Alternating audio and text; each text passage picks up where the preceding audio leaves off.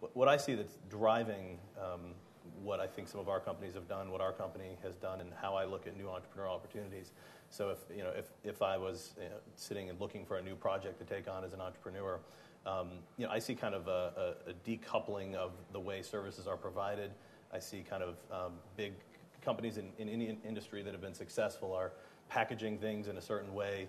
Um, I, I, think the, the, best example of this, I, I think, is kind of as a model what iTunes has done for songs. And it's not the fact that they've made it accessible and all in a single marketplace, but it's the fact that you can just buy the one song that you actually want and not the whole CD.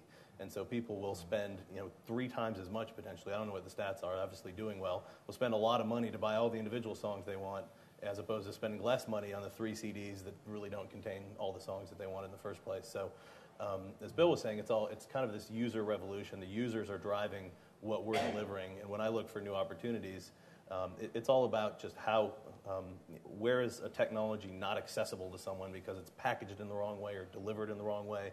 And software as a service has, has done a nice job of, in many ways, lowering the barrier to entry. So, you know, I want uh, a ton of technology, let's say, for uh, um, to ma- manage my customer records.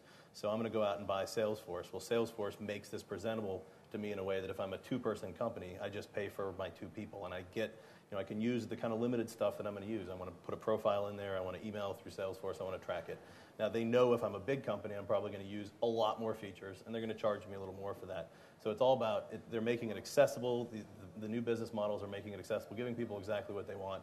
People don't want to buy the entire A to Z package these days. Everyone is getting smarter. Information's making it all more accessible.